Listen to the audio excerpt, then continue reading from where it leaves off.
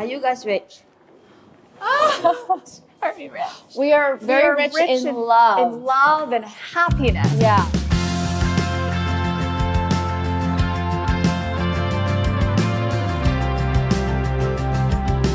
This is part of the process, the series that shows us how sustainable fashion is made, from the plantation to sustainable viscose rayon to fashion.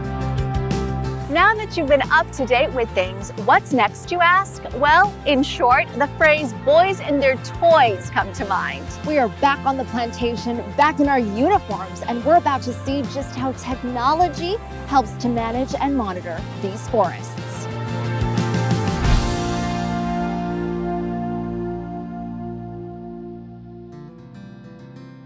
This is Rifky, and he's a remote sensing analyst. Still none the wiser?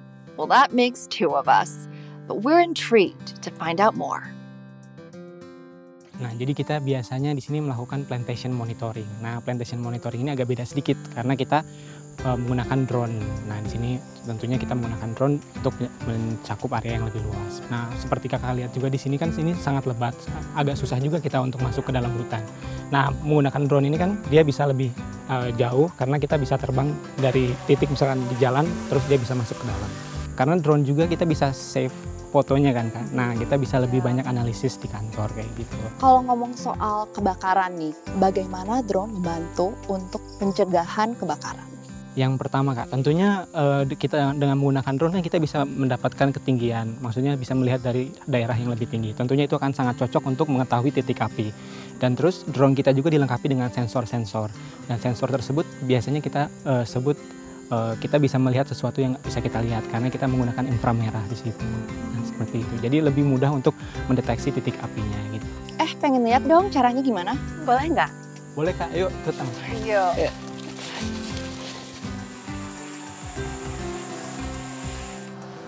Wow. We would have liked to have had a go, but we feared for the life of the drone. Not sure our flying skills are there yet. Ini biasa sih. Our next subject may not be part of the viscose rayon making process. However, it plays an important role in today's world. It's conservation. This is Brad Sanders, and he leads a set of huge conservation projects, some of the biggest in this part of the world. In total, we managed over 800,000 hectares. About Wow. 50% of it is set up in our fiber plantations, our production areas, and another 43% we conserve. So this is our effort to try to have a balanced portfolio of protection areas and production areas. Great. And also, can you tell us a little bit more of how your role here connects to the fashion industry? Yeah, sure. I mean, it's very important that we convey to our customers that we have this balanced portfolio. We believe Yes. this is important to them. Yeah. And we want to make sure that we can become a supplier of choice to mm-hmm. them. And we want to be the sustainable and responsible manager for that. Okay. Thank you, Brad. Thank you. bet.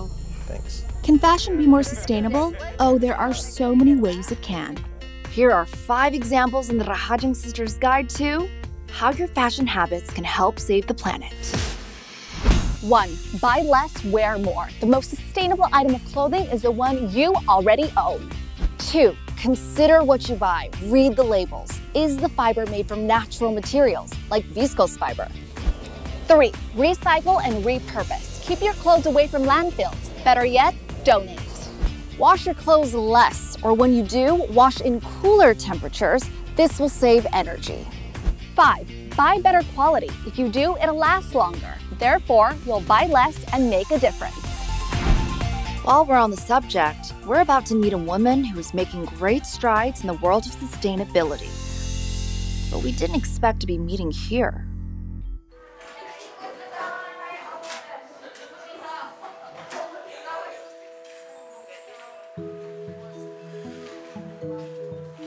I'm gonna promise to myself five things that I can do to save my world. Just five. What does it mean to say reduce? Yes. Like take away half of the trash in the world. Yes. Yes, correct. This is reusing because this bottle, every day you fill it up with fresh water, so you are reusing this. It's not something that you only buy and use once.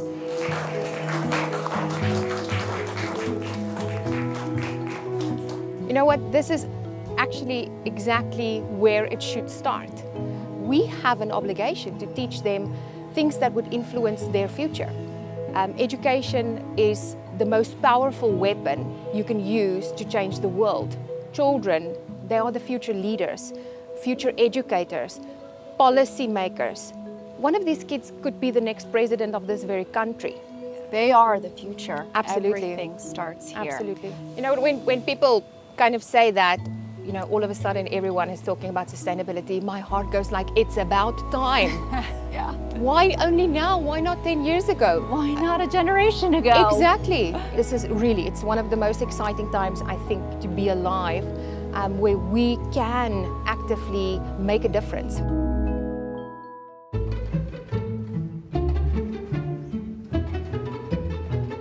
Does anyone have any questions for us? Oh, yes. How did your parents differentiate between you two when you were younger?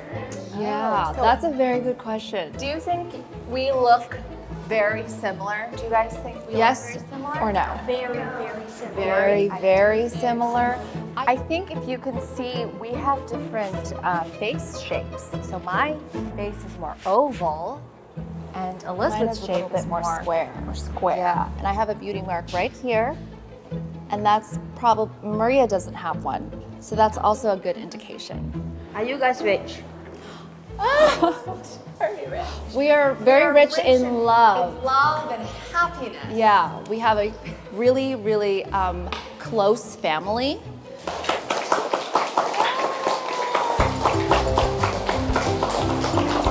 was so nice to talk with you all today. Thank you for having us. Thank you guys. You guys are awesome. Have a great day, guys.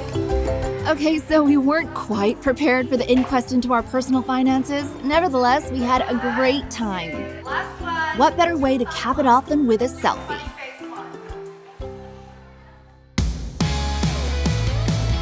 Next up in part of the process, we're heading to the mill, the lab, and of course, we patiently await our viscose rayon design.